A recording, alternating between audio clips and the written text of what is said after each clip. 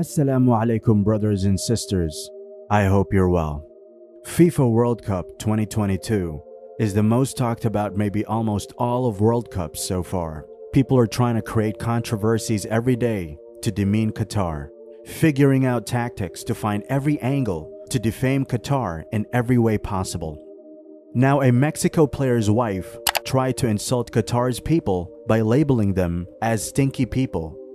George Sanchez's wife, Linda Villanueva, took a drive in Uber and shared her experience in Instagram, which was full of hate. She wrote on her Instagram account, What does it cost these people to take a bath? Put on a little perfume, a little deodorant. Oh no, as soon as we come from taking the Uber, they smell horrible. Brothers and sisters, maybe she was furious about Mexico being out from the World Cup and took all her frustration in the other direction to insult the people of Qatar. Whatever her intentions were, her posts started getting support as people were already searching for faults in the host country. Dear sisters and other supporters, we as Muslims would like to answer you that we not only purify ourselves, but we purify our souls also, that too, five times a day. It is an obligatory and not optional upon every Muslim to do so.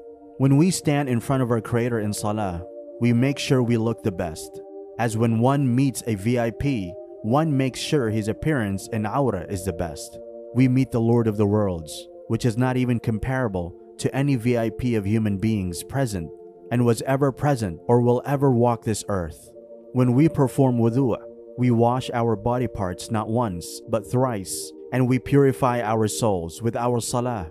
Our salah stops us from evils as written in our holy book. Allah subhanahu wa ta'ala said, Recite the book that has been revealed to you and establish prayer. Surely prayer forbids indecency and evil, and Allah's remembrance is of even greater merit. Allah knows all that you do. In a Sahih Hadith, the importance of cleansing is also emphasized. Chapter 2 Purification is essential for prayer. Book number 2, number 0433. Mus'ab bin Sa'ad reported Abdullah, son of Umar, came to Ibn Amir in order to inquire after his health as he was ailing.